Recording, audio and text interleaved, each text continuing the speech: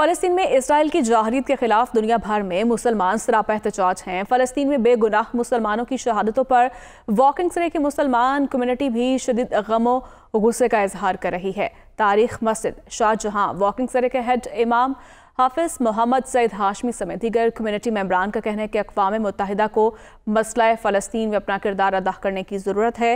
ताकि मासूम बेगुनाह फ़लस्तियों को इंसाफ मिल सके। हमारे नुमाइंदे मुसरत इकबाल इस वक्त उनके साथ मौजूद हैं। जी मुसरत आगाह कीजिएगा। जी आज हम वोकिंग शाहजहाँ मस्जिद में खड़े हैं। यहाँ हमारे साथ इमाम साहब और कम्युनिटी के मम्बरान खड़े हैं। आइए हम इनसे जानते हैं कि जो इसराइल जो है ना फ़लस्तीन पर जाराना बम्बारी कर रहा है इस पर ये क्या कहेंगे? जी असल और हमें बहुत बड़ा कंसर्न है मसला फ़लस्तीन 1948 से यूएनओ के टेबल पर है। और आपने देखा होगा, इस जो करंटली गज़ा पर बमबारी हो रही है, अस्पतालों पर बमबारी हो रही है, लोगों को मारा जा रहा है, घरों से निकाला जा रहा है और सो फार जब मैं आपसे बात कर रहा हूँ तो पंद्रह हज़ार मासूम लोगों की जानें ले ली गई हैं सिविलियंस की जानें ले ली गई हैं और तकरीबन चालीस हज़ार के करीब लोग ज़ख्मी हैं और मिलियन से ऊपर जो है वो डिसप्लेस लोग हो चुके हैं। ये एक ह्यूमन राइट्स का इंसानी क्राइसिस है और किसी का कोई भी मज़हब है, कोई भी उसका बैकग्राउंड है, मज़हब है या नहीं है, इंसानी कदरों और इंसानी बुनियादों पर हम सबको बोलना चाहिए। और एज़ ए मुसलमान तो एक मुस्लिम उम्मा जो है, वो एक जस, जसद वाहिद की तरह होती है होती है। और ह्यूमन राइट्स की जो यू एन ओ की रेजोल्यूशन हैं ह्यूमन राइट्स की जो रिपोर्ट्स हैं, उन सब में इसराइल जो है, वो बहुत बड़ी वहाँ पर जुल्म सितम कर रहा है। मैं ये कहना चाहूँगा, तमाम पॉलिटिशियंस तमाम दुनिया के लीडरों के तवसल से और पूरी मुस्लिम उम्मा और बरतानिया की मुसलमानों की आवाज़ बन कर ये मैं कहना चाहूँगा, हमें पुरअमन तौर पर इस्लाम एक अमन दन का मज़हब है। मोहब्बत फैलाने वाला दिन है। इस बुनियाद पर हम किसी कम्युनिटी से नफ़रत नहीं करते। हम दोस्त बनाकर, मोहब्बत को फैलाकर लोगों को इस्लाम के करीब का करेंगे और इस्लाम के अंदर दाखिल करेंगे। और साथ ही जो हमारा ह्यूमन राइट्स इंसानी हकूक़ और यूके का लॉ हमें इजाज़त देता है कि हम ये जो नाइंसाफ़ी, जुल्म, सितम, इंसानी हकूक़ की खिलाफ वर्जी फ़लस्तीन के अंदर हो रही है उस पर आवाज़ उठाएँ।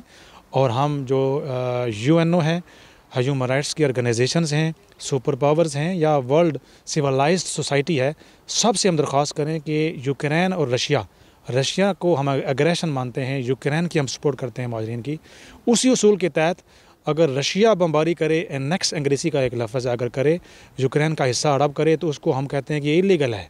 हम आवाज़ उठाते हैं। तो उसी असूल के तहत जो इसराइल है, वो एग्रेशन कर रहा है दहशत गर्दी कर रहा है और और उन्नीस सौ अड़तालीस से फ़लस्तियों की ज़मीनों को, घरों को गिरा कर अपने मुल्क में शामिल कर रहा है। खुदारा आवाज़ उठाएँ और ये इंसानी हकूक़ का मसला है। इस पर सब कुछ यकजान होना चाहिए डबल स्टैंडर्ड नहीं होना चाहिए और इसको इंसानी हकूक़ की एनक से ही देखना चाहिए। और पूरी दुनिया ने इस मसले को माना है यू एन ओ के टेबल में मौजूद है। पूरा मन तौर पर इसका हाल निकालना चाहिए। जी, आप क्या कहेंगे इस जी, जैसे कि इमाम साहब ने फरमाया कि हमारी सबसे बड़ी जो परेशानी यही है कि इस वक्त दुनिया में डबल स्टैंडर्ड किया जा रहा है कि जैसे इमाम साहब ने फरमाया, यूक्रेन में अगर, जब अगर सिविलियन पे बम्बारमेंट होती है तो आप उसको कहते हैं कि ये ह्यूमन राइट्स और ये इंसानों को बे गुनाह मारा जा रहा है।